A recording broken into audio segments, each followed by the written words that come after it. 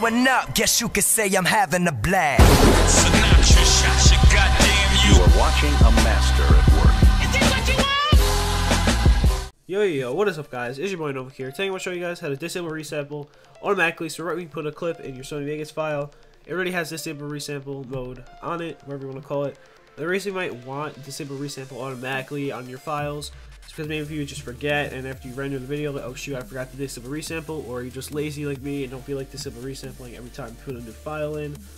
Um, so yeah, so basically how you do this is go right here to the gear, and resample mode, smart resample should be the default. Just put that to disable resample and start a new project with these settings. Click apply, okay. And then when you import your files, let's just import this video right here. And go switches. The project does not say it has disable resample on it, but the project resample mode is set on disable resample, so you don't have to worry about disable resampling again. And yeah, hope you guys enjoyed this video. Please leave a like if it helped you. Comment if you have any problems. I'll try and help you out. And yeah, see you guys next video. Peace.